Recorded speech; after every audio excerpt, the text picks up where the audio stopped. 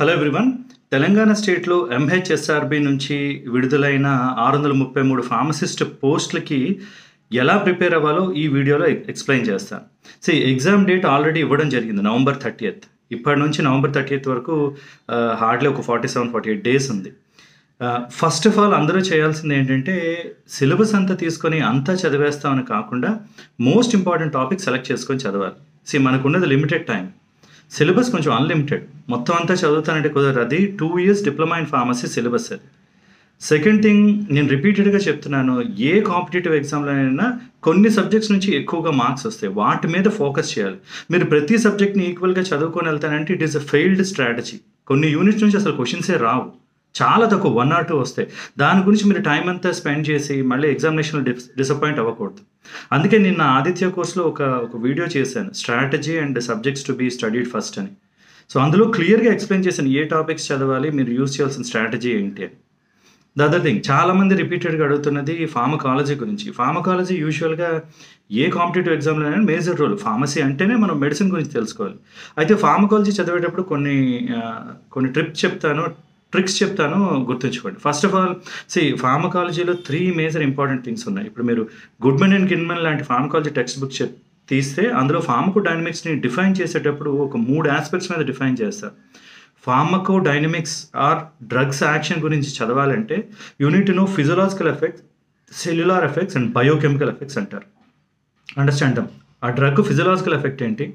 ఆ drug cellular effect ఏంటి? ఆ డ్రగ్ బయోకెమికల్ ఎఫెక్ట్ ఏంటి?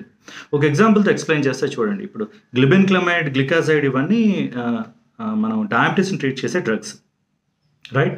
ఫిజియలాజికల్ ఎఫెక్ట్ అంటే ఏంటి? గ్లిబెన్ క్లమైడ్ గ్లికాజైడ్ యూజ్ చేస్తే డయాబెటీస్ని ట్రీట్ చేయొచ్చు. అంటే మన బాడీలో వచ్చే ఎఫెక్ట్ ఏంటి అంటే బ్లడ్లో గ్లూకోజ్ లెవెల్ తగ్గిస్తుంది. హైపోగ్లైసిమియా. హైపర్ గ్లైసెమిక్ కండిషన్ని ట్రీట్ చేయడం. హైపర్ ఎక్కువ గ్లైస్ గ్లూకోజ్ ఎమియా బ్లడ్. బ్లడ్లో ఉండాల్సిన దానికన్నా ఎక్కువ గ్లూకోజ్ ఉంటే ఆ కండిషన్ హైపర్ గ్లైసిమియా అంటారు. దాన్ని తగ్గించేది గ్లిబెన్ క్లమైడ్ గ్లికాజైడ్ డ్రగ్స్. ఇది ఫిజియలాజికల్ ఎఫెక్ట్ అంటే తీసుకుంటే మన బాడీలో వచ్చే ఎఫెక్ట్ ఏంటి? సెల్యులార్ ఎఫెక్ట్ ఏంటి? ఆ డ్రగ్స్ తీసుకుంటే దే ఆర్ ఇన్సులిన్ సెక్రిటోగాక్స్. అంటే డ్రగ్ తీసుకుంటే ఇన్సులిన్ సెక్రేషన్ పెరుగుతుంది సెల్ నుంచి ఇన్సులిన్ సెక్రేషన్ ప్యాన్క్రియాటిక్ సెల్ నుంచి ఇన్క్రీజ్ ఇన్సులిన్ సెక్రేషన్ పెరుగుతుంది. అది cellular effect. Third one biochemical effect ఏంటంటే ఇన్సులిన్ రిలీజ్ అయితే ఏం జరుగుతుంది? ఇన్సులిన్ రిలీజ్ అయితే బ్లడ్లో ఉన్న గ్లూకోజ్ సెల్స్లోకి ఎస్పెషల్లీ ఎడిపోజ్ అండ్ మజిల్ సెల్స్లోకి వెళ్తుంది. ఎందుకు వెళ్తుంది? ఇన్సులిన్ గ్లూకోజ్ ట్రాన్స్పోర్టర్ని యాక్టివేట్ చేయడం వల్ల ఆ గ్లూకోజ్ బ్లడ్లో ఉన్న గ్లూకోజ్ని తీసుకొని ఆ గ్లూకోజ్ ట్రాన్స్పోర్టర్ బ్లడ్లో ఉన్న గ్లూకోజ్ని తీసుకొని మజిల్ ఎడిపోజ్ సెల్స్లోకి ట్రాన్స్ఫర్ చేస్తుంది. ఇది బయోకెమికల్ యాక్షన్ సో మీరు ఏ క్లాస్ ఆఫ్ డ్రగ్ తీసుకున్నా ఈ మూడు గుర్తుంచుకోవాలి. ఫిజియలాజికల్ ఎఫెక్ట్ ఏంటి? సెల్లార్ ఎఫెక్ట్ ఏంటి? బయోకెమికల్ ఎఫెక్ట్ ఏంటి? ఫిజియలాజికల్ ఎఫెక్ట్స్ అంటే క్లాసిఫికేషన్ మీరు కేడీ త్రిపాఠి చిన్న బుక్ తీసుకుంటే క్లాసిఫికేషన్ బుక్ దాంట్లో కంప్లీట్గా ఏ డ్రగ్ ఏ క్లాసో చెప్తారు. అదే ఫిజియలాజికల్ ఎఫెక్ట్ ఆస్ప్రిన్ యాంటీప్లేట్లెట్ అంటే ఏంటి? ఫిజియలాజికల్ ఎఫెక్ట్ ఏంటో చెప్తున్నారు రైట్ క్యాప్టోప్రిల్ ఎఫెక్ట్ ఏంటి? హైపర్టెన్షన్ ట్రీట్ చేయడానికి చూస్తారు. అంటే ఏంటి? ఫిజియలాజికల్ ఎఫెక్ట్ ఏంటో చెప్తున్నారు.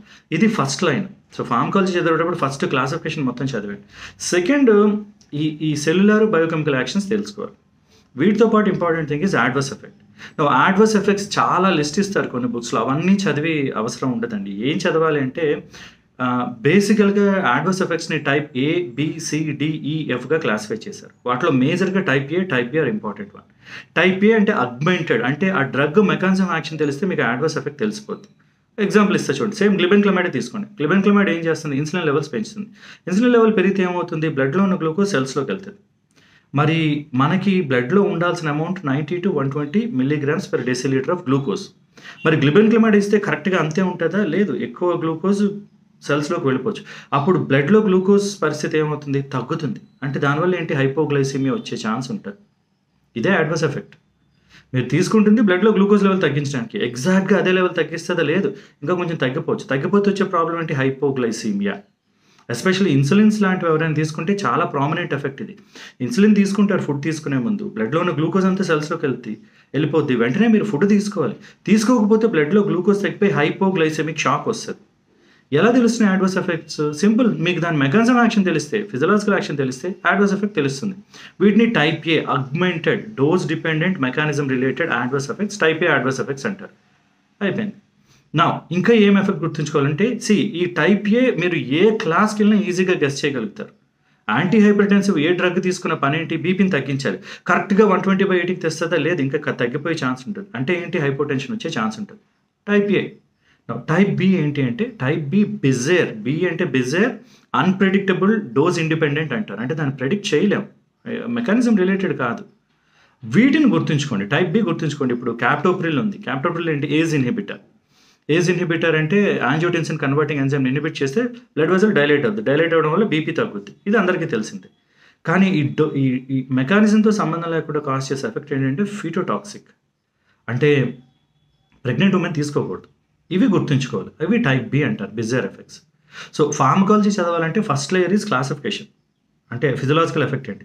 తర్వాత సెల్యులర్ బయోకెమికల్ ఎఫెక్ట్స్ తెలుసుకోండి. And then important adverse effects రెండే టైప్ ఏ టైప్ బి తెలుసుకోండి. సరిపోతుంది. సో అగైన్ సి ఎగ్జామినేషన్స్కి ఈ ఫార్మసిస్ట్ ఎగ్జామ్కి అందరూ సిన్సియర్గా సీరియస్గా ట్రై చేయండి. నెగిటివ్ థాట్స్ మిగతా ఆలోచనలు అన్నీ పక్కన పెట్టి అట్లీస్ట్ ఈ ఈ ఉన్న ఈ వన్ అండ్ హాఫ్ మంత్ మాత్రం సిన్సియర్గా మీ ఎఫర్ట్ ఇవ్వండి. ఎఫర్ట్ ఇచ్చేటప్పుడు కూడా మీకు ప్లాన్ స్ట్రాటజీ ఉండాలి. ఫస్ట్ ఇంపార్టెంట్ టాపిక్స్ ఏం చదవాలి? ఫార్మకాలజీ కవర్ చూడండి ఇవన్నీ చూడండి. రేపు I give you a forty five days plan for examination నేను ఆదిత్య కోర్సులో ఆల్మోస్ట్ ఇంపార్టెంట్ టాపిక్స్ అన్నిటికీ వీడియోస్ పీడిఎఫ్స్ చేసి పెట్టాను సో నా సజెషన్ ఏమంటే ఆ ఇంపార్టెంట్ టాపిక్స్ని ఫస్ట్ ఫినిష్ చేస్తే మీకు ఒక కమాండ్ వస్తుంది. ప్రతి ఒక్కటి చదివి యూజ్ లేదు. రిపీటెడ్గా చదువుతున్నాను. సిలబస్లో చాలా టాపిక్స్ ఇస్తారు ప్రతి ఒక్క టాపిక్ నేను చదివేస్తాను. నాకు అది ఇవ్వండి ఇది ఇవ్వండి అంటే యూజ్ లేదు. మీరు అలా చదివి ఏ కాంపిటేటివ్ ఎగ్జామ్ చేయలేరు. వేటి నుంచి ఎక్కువ క్వశ్చన్స్ వస్తాయి. ఇంపార్టెంట్ టాపిక్స్ ఏంటి? ఎలా ఆన్సర్ చేయాలి? ఇది తెలుసుకోవాలి. సెకండ్ వన్ చాలామంది నన్ను అడుగుతుంది క్వశ్చన్స్ ఏమైనా ఇవ్వండి? టెస్ట్లు అవి ఇవ్వండి అంటే again unit to understand this one see మీకు uh, ఏ ఎగ్జామ్లో కూడా ఇచ్చిన క్వశ్చన్ రిపీట్ అవ్వదు. Understand this one second one మీరు క్వశ్చన్ బ్యాంక్స్ చేసుకుంటూ పోతే కాన్సెప్ట్స్ అర్థం చేసుకోవాలి కానీ క్వశ్చన్కి ఆన్సర్ చూస్తే it will be a big problem ఎందుకంటే క్వశ్చన్లో ఒక వర్డ్ మారినా ఆప్షన్స్ మారినా ఆన్సర్ మారిపోద్ది. సేమ్ కాన్సెప్ట్ కానీ ట్విస్ట్ చేసేస్తారు. సో అది ఫెయిల్డ్ స్ట్రాటజీ ఊరిని ఎగ్జామ్స్ రాసేసి చేయడం it is it will not work okay so all the best I hope this will this is useful